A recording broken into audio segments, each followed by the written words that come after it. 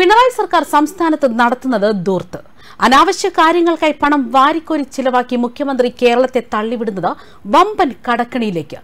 മുഖ്യമന്ത്രി പിണറായി വിജയനെതിരെ ആഞ്ഞടിച്ചിരിക്കുകയാണ് ഗവർണർ ആരിഫ് മുഹമ്മദ് ഖാൻ.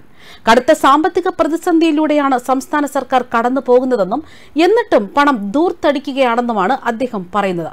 തലസ്ഥാനത്ത് നടക്കുന്ന കേരളീയം ആഘോഷം പോലും ദൂർത്തെന്നാണ് അദ്ദേഹം ചൂണ്ടിക്കാണിക്കുന്നത്. കേരളീയം ആഘോഷത്തിന്റെ ഉദ്ഘാടനത്തിന് പോലും കേരള ഗവർണറെ ഒഴിവാക്കിയാണ് മുഖ്യനി ചടങ്ങുകൾ സംഘടിപ്പിച്ചത്. ഇതിനെതിരെയും അദ്ദേഹം ആഞ്ഞടിക്കുകയായിരുന്നു.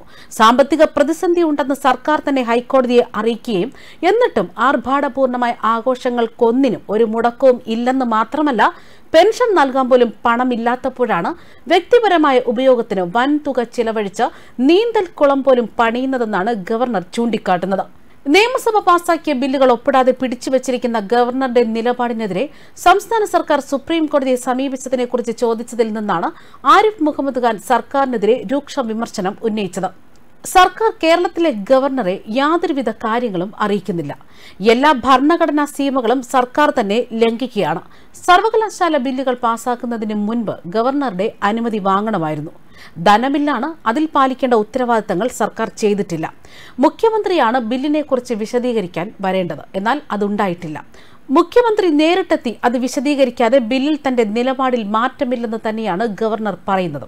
കടുത്ത സാമ്പത്തിക പ്രതിസന്ധിയായിരിക്കുമ്പോഴും സംസ്ഥാനത്ത് നടക്കുന്നത് മുഴുവൻ ദൂർത്താണ് സാമ്പത്തികമായി തകർന്ന് തരിപ്പണമായി നിൽക്കുന്നുവെന്ന് സർക്കാർ തന്നെയാണ് ഹൈക്കോടതിയെ അറിയിച്ചത്. ബില്ലുകളിൽ ഗവർണർ ഒപ്പിടാത്തതിനെതിരെ സംസ്ഥാന സർക്കാർ സുപ്രീം കോടതിയെ സമീപിച്ച നടപടിയെയും ഗവർണർ സ്വാഗതം ചെയ്തു. ഭരണഘടനാപരമായി എന്തെങ്കിലും സംശയമുണ്ടെങ്കിൽ ആർക്ക് വേണമെങ്കിലും സുപ്രീം കോടതിയെ സമീപിക്കാം. സുപ്രീം കോടതിയുടെ നോട്ടീസ് ലഭിച്ചാൽ താൻ മറുപടി പറയും. തന്റെ ഉത്തരവാദിത്തത്തെക്കുറിച്ചാണ് മറുപടി നൽകുക.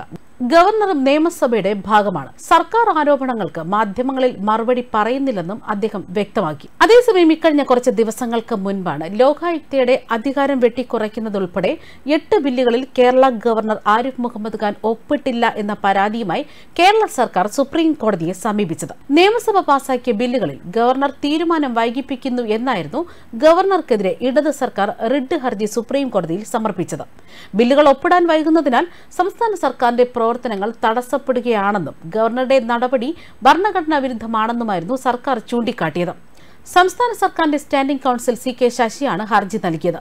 ബില്ലുകളിൽ സമയബന്ധിതമായി തീരുമാനമെടുക്കാൻ ഗവർണർക്ക് നിർദ്ദേശം നൽകണമെന്നായിരുന്നു ഈ ഹർജിയിൽ ആവശ്യപ്പെട്ടത്. നിലവിൽ തെലങ്കാന പഞ്ചാബ് തുടങ്ങിയ സംസ്ഥാനങ്ങൾ ഗവർണർക്കെതിരെ സുപ്രീം കോടതിയെ സമീപിച്ചിരുന്നു. ഇതിനൊപ്പമാണ് കേരള സർക്കാരിന്റെ ഹർജിയും പരിഗണിക്കുന്നത്. ലോകായുക്തയുടെ അധികാരം വെട്ടിക്കുറച്ച ബില്ലുകൾ ഉൾപ്പെടെ എട്ടെണ്ണമാണ് ഗവർണർ അംഗീകരിക്കാതിരുന്നത്. ഈ സാഹചര്യത്തിലായിരുന്നു നിയമ ഉപദേശം തേടി സംസ്ഥാന സർക്കാർ ഗവർണർക്കെതിരെ സുപ്രീം കോടതിയിൽ പോകാൻ തീരുമാനമെടുത്തത്. എട്ട് ബില്ലുകളിൽ ഗവർണർ ഒപ്പിടില്ലെന്നും അതിൽ മൂന്ന് ബില്ലുകൾ കഴിഞ്ഞ രണ്ട് വർഷമായി പിടിച്ചു വെച്ചിരിക്കുകയായിരുന്നുവെന്നും നാനൂറ്റി പേജുള്ള റിട്ട് ഹർജിയിൽ സംസ്ഥാന സർക്കാർ പറഞ്ഞിരുന്നു. ഒപ്പിടില്ല എന്ന ഗവർണറുടെ നടപടി ഭരണഘടനാ ചട്ടങ്ങൾക്ക് വിരുദ്ധമാണെന്നായിരുന്നു സർക്കാർ വാദിച്ചത്. എട്ട് ബില്ലുകളിൽ പലതും ഗവർണറുടെ അധികാരത്തെയും ഇടപെടലുകളെയും ചോദ്യം ചെയ്യുന്നവയായിരുന്നുവെന്നും സർവകലാശാല നിയമ ഭേദഗതി ബില്ലും ചാൻസലർ ബിൽ എന്നിവ ഗവർണർക്ക് പൂർണമായും എതിരാണ്. സർവകലാശാലകളുടെ ചാൻസലറായി ഗവർണറെ തൽസ്ഥാനത്ത് നിന്ന് നീക്കി സർക്കാരിന്റെ ഇഷ്ടാനുസരണം വി സി നിയമനം സാധ്യമാക്കുന്നതിനും ഇത് ചോദ്യം ചെയ്യാൻ മറ്റാർക്കും അധികാരമില്ലാതാക്കുന്നതുമാണ് പല ബില്ലുകളും. ഇതാണ് ഗവർണർ ഒപ്പിട്ടില്ല എന്ന പരാതിയുമായി സംസ്ഥാന സർക്കാർ സുപ്രീം കോടതിയെ സമീപിച്ചത്. ഈ സംഭവത്തിലാണ് പിണറായി സർക്കാരിനെതിരെ ഗവർണർ ആഞ്ഞടിച്ച് രംഗത്തെത്തുന്നത്. News desk Karma news.